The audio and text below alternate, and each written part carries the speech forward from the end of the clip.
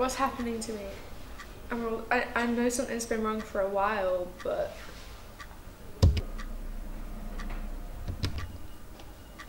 You said some really weird things today. It's like you completely lost yourself. I'm not going to get through this, am I?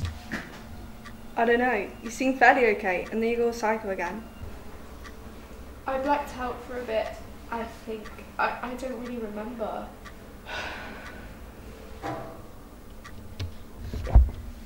Maybe you're just tired. Let's just go to bed. I'm sure you forget this in the morning. Wait, I'm losing my mind here. I'm literally falling apart, and you want me to sleep? If this is reality, I can only imagine what my dreams will be like. What if I never wake up? So what? We're just gonna sit here and talk about it all night? Is that what you want? Is that gonna solve all of this? I want to be. I want to be alone. Well, what? What do you mean? I mean, I've been thinking, all we do is just argue and fight and argue. Like, maybe we shouldn't be together.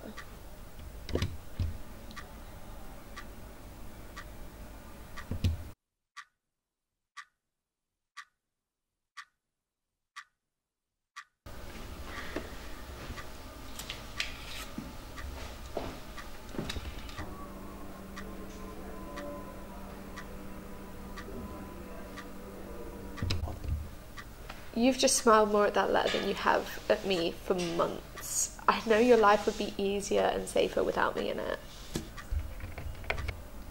Come on, Glass. It's just a supply point that one of the other group found. You can't say that is why my life will be easier. It doesn't mean that I don't want you. I know you don't want me anymore. Glass, please. Think about what you're saying. I have. I know why we came here and it isn't going to save me. Whatever's left of me isn't going to last. You're not done. I can save you. We can fix you together. Let's be honest with each other for once in our lives. I can't be allowed to leave this room. Just end this before I end up hurting you too.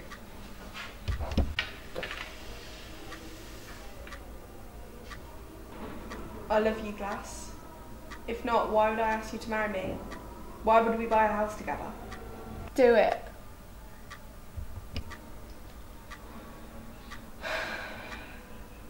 Fine. I'll say it. We're finished.